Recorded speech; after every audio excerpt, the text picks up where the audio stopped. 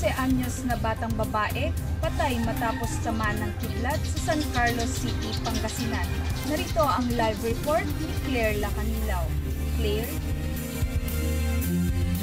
Joanne, nasawi ang labindalawang taong gulang na batang babae matapos sumanong tamaan ng kidlat sa labas ng kanyang bahay sa San Carlos City, Pangasinan. Hindi lubos sa kalay ni Teresita Dumantay na sa isang iglap lang mawawala ang kanyang labindalawang taong gulang na pamangkin na si Joanna Dumantay. Nasawi si Joanna matapos sumanong tamaan ng kidlat sa labas ng kanilang bahay sa Barangay Cohol, San Carlos City, Pangasinan. Dinala pa sa hospital ang dalagita, ngunit idineklara siyang dead on arrival. bigla po ano kumulog po ng malakas. Tapos yung pagka ano po yung kapatid niya, sabi namin sa kanya, bakit ka naliligo sa ulan? Yung po, humihingi na po ng tulong yung kapatid niya, gumugulong po sa may kamanggahan po. Tapos po, nung sabi niya sa amin, sa ante tulong, sa ate ko natamaan ng kidlat. Nagpapagaling naman sa hospital ang kanyang nakababatang kapatid na nasa mabuti ng kalagayan matapos sumanong tamaan din ng kidlat sa binti. Nananawagan naman ng tulong ang naiwang kaanak ng biktima. Nasaan ka ba na alam na lagi mo kaming gabayan. Lagi mo nasiisip na mahal na mahal ka namin. Alam mo yan, lahat kami dito. Ayon sa pag-asa, tuwing hapon nakararanas ng localized thunderstorm ang buong lalawigan ng Pangasinan kaya paalala ng otoridad iwasang manatili sa labas ng bahay o open area upang hindi tamaan ng kidlat.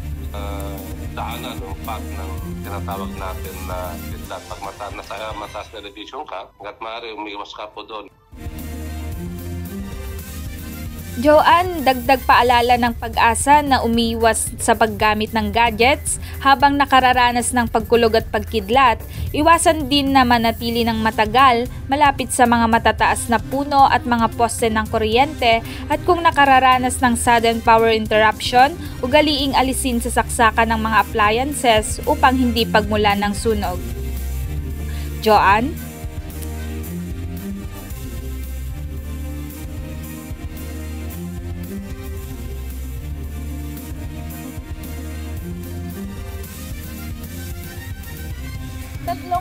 Tatlong armadong lalaki ang nangundab sa isang courier sa Quezon City.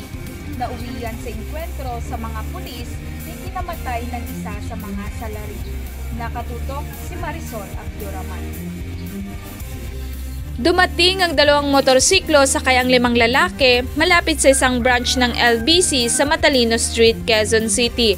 Bababa sa motor ang ilan sa kanila at tila nagkanya-kanya ng lakad habang ipaparada naman ang dalawang motorsiklo sa isang lugar.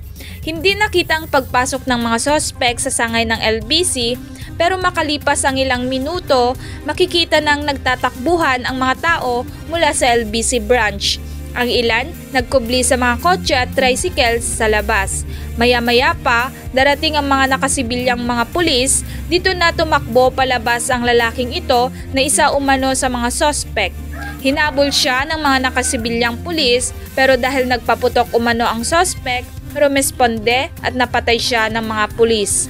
Sa susunod na kuha ng CCTV, nakabulagta na ang lalaki, nakuhanan naman ng isa pang CCTV ang isa pang suspect na nakikipagbarilan sa mga pulis. Sinamantala ng lalaki ang dami ng tao para makatakas. Makikita pang isiniksik ng lalaki ang kanyang baril at naglakad na parang wala lang. Arestado naman ang isa niyang kasama na kinilalang si Leonardo Amando. Doon sa malapit sa area ng ating mga operative at mga patrollers natin. So kaagad-agad na nakaresponde at na-engage itong ah, grupo na to. Binalikan ng GMA News ang hinoldap na LBC. Business as usual na ito pero aminado ang ilang empleyado na natatakot pa rin sila lalo't sariwa pa sa kanilang mga alaala ang nangyari. Kwento nila, bigla na lang daw pumasok ang tatlong armadong lalaki. O hold up to ah, labas yung mga pera niyo. Gumanon kagad siya. Kami naman, siyempre, ito lala. Bigay agad kami ng pera. Naka-face mask lang, tapos naka-jacket. Ordinary lang po talaga. Anong face mask yun? Parang ganun suot natin? Hmm, parang ganyan. Yung iba po hindi ganyan eh. Yung parang pang motor. Mahigit 90,000 pesos daw ang natangay ng mga sospek Pero nabawi ng mga pulis mula sa isang sospek ang nasa 50,000 piso. Tangay naman ng nakatakas na sospek ang iba pa.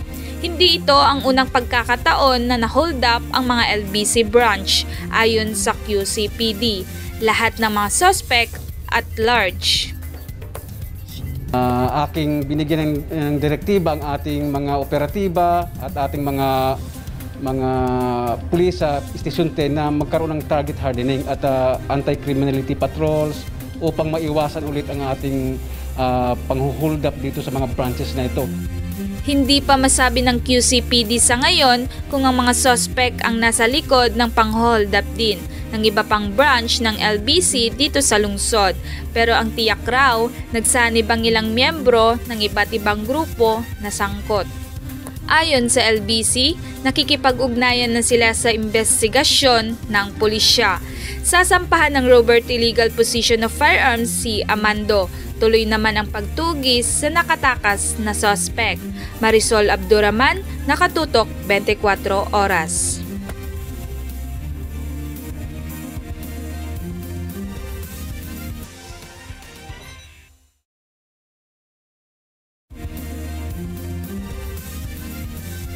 Hindi bababa sa pitong kaso ng monkeypox ang kumpirmado ngayon sa United Kingdom. Ayon sa World Health Organization, isa sa mga kaso ay bumiyahe sa Nigeria habang ang anim na iba pa ay walang travel history at posibleng nakuhang infection sa loob ng UK. Ang monkeypox virus ay endemic o karaniwan sa West at Central Africa at kabilang sa Orthopox virus family. Ayon sa US Center for Disease Control and Prevention, posibleng maipasa ang monkeypox virus kung ang isang tao ay nagkaroon ng kontak sa isang hayop, tao o bagay na kontaminado ng virus. Maaari itong pumasok sa katawan sa pamamagitan ng mga sugat sa balat, respiratory tract, mata, ilong at bibig pero hindi gaya ng COVID-19, hindi naman nakikitang na ipapasa ito sa pamamagitan ng hangin. Ayon sa World Health Organization, ang ilang kaso sa UK nakita nila sa mga lalaki. information we need to investigate properly to understand better the dynamic of local transmission in UK and in some other countries. Karaniwang sintomas ng monkeypox ay lagnat, pananakit ng ulo, muscle at likod, pagkapagod at panginginig ng katawan. Isa rin sa mga sintomas ang pagkakaroon ng kulani at rashes. Paglalarawan ni infectious disease specialist Dr. Ruth Jean Solante, maaari ring tubuan ng bulutong tubig. the most dangerous part there is when it erupts, that erupted part, bolus or the water inside that is highly infectious. It's full of virus. Yung damit mo tapos na na na contaminated ng mga erupted clusters, ah ah ah, yung mga vesicular rashes, all discharge, tapos hawak ka ng isang tao yan, tapos mayroon siyang open wound, he can get the infection. Bukod sa United Kingdom, nakakumpirma na rin ang kaso ng monkeypox sa ilang bansa sa Europa, Canada at Amerika. Kaya hindi pa man tapos ang pandemya ng COVID, kailangan na ring mag-ingat sa posibilidad na may makapasok sa bansang infected ng monkeypox. for tourists. And uh, in the data in UK and US, all of those patients did not have any even history of travel to to Africa. So, meaning possibility of anyone who has this infection coming from these countries and exposing our uh, locals can be can be a, a possible source of the infection. Ang magandang balita, hindi pa nadedetect ang monkeypox sa Pilipinas. Hindi rin ito singbagsik ng smallpox na matagal nang nawala sa mundo. Nasa 0 hanggang 11% ang case fatality ratio ng monkeypox. The more important part here is uh, really on what, when, if, and when it will be present in one Southeast Asian countries. Then, then that's where we will have to be uh, not panic, but we have to closely review our policies in terms of entry of uh, touri- uh, tourists and foreigners in our country. Nananatili mang maganda ang sitwasyon ng bansa pagdating sa COVID, dapat pa ring maging maingat laban sa panibagong banta sa kalusugan. Rafaela Busano, ABS-CBN News.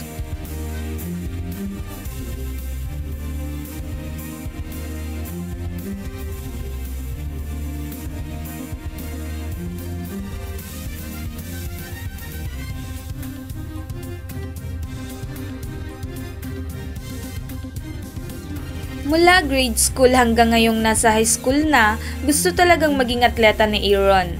Soccer, tennis, track and field, lahat sinubukan niya hanggang sa magkaroon ng injury sa kanyang kaliwang binte nitong pandemya.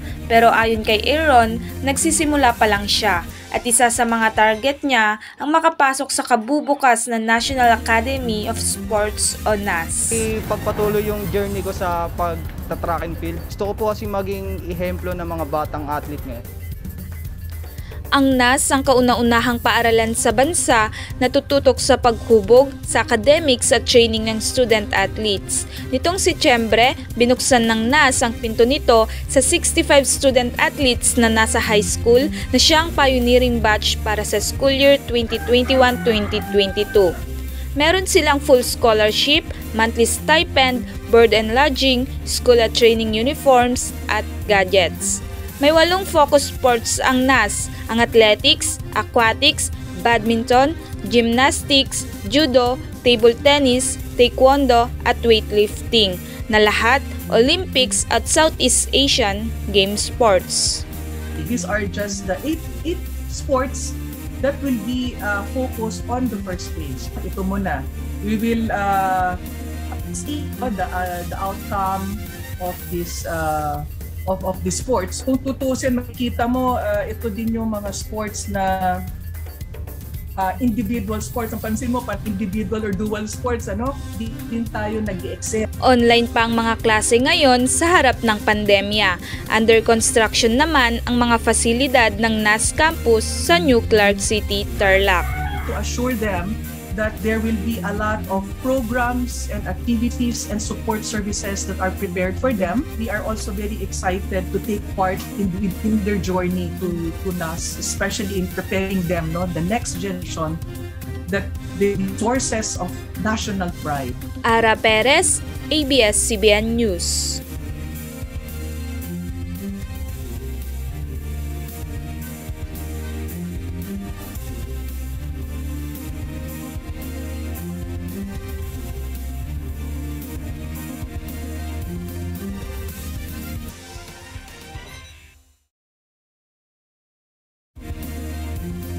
Matapos ang successful run ng romcom serye na Marry Me, Marry You, sasabak na sa family drama na Dirty Linen si Janine Gutierrez kasama si Zanjo Marudo.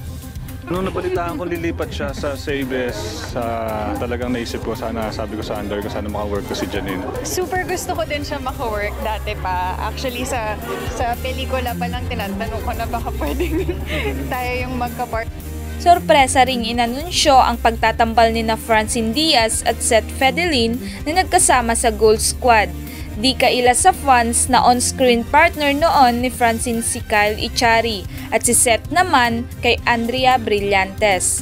Nasangkot sa kontrobersiya ang magkakaibigan, isa na rito ang pagbisita ni Seth kay Francine noong bagong taon kung saan nabash sila ng husto. Thank you so much for that. Kami naman, uh, Another blessing. wala naman kaming, mahal namin kayo. At yun, magmumoljo ako sa harap nyo kayo lang lahat ng Hindi, audience. at saka thank you for ano, for the hate kasi because of that, nagkaroon pa tayo ng opportunity, another project. Ready na ba kayo na tawaging Francet?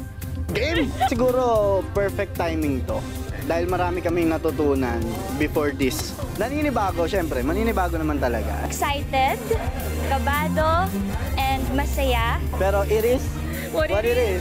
Powerhouse ang casting ng proyekto, kabilang ang mga batikan at award-winning actors na sina Janice de Belen, Joel Torre, Susan Africa, Christian Bobles, JC Santos, Suliman Cruz at iba pa.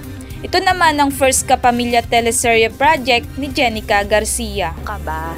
Meron akong nararamdaman sa puso ko na may kailangan akong patunayan kasi hindi ako dito galing. Ang goal ko po talaga dito yung mapakita ko sa ABS na ah tama siya nga talaga dapat.